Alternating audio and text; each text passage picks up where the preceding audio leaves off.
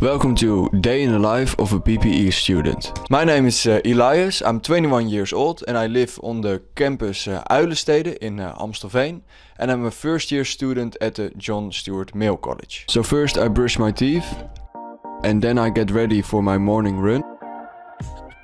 Today it was freezing outside but I took uh, the same route around uh, Uilenstede I take every morning. So as you can see on some parts of the pavement there was a lot of ice so I had to be careful. And some people even fell on their bike, like in this video.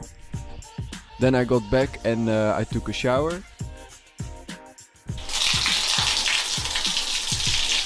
After my uh, shower it was time uh, to make my bed. I saw that they do this in the military, so I thought, yeah, why not uh, copy that?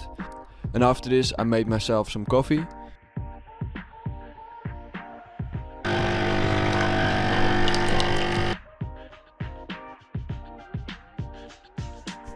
Then it was time for the first lecture of today. It was actually the first lecture of this course and it was about the history of philosophy. After this I watched some pre-recorded lectures about statistics. So then the digital part of my day was finished and I biked uh, to the university.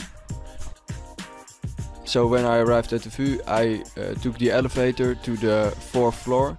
The whole fourth floor is uh, reserved for uh, the PPE uh, faculty and here I met up with a friend uh, named uh, Koen and he uh, gave me a book uh, uh, he had told me about which was uh, really nice from him.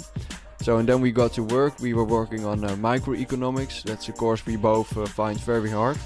Um, but we decided to study together on it which makes it easier. But after some time we got bored and I got us some chocolate milk to uh, get through the time. Then Koen go got a bleeding nose, so uh, this is him uh, going to take care of that.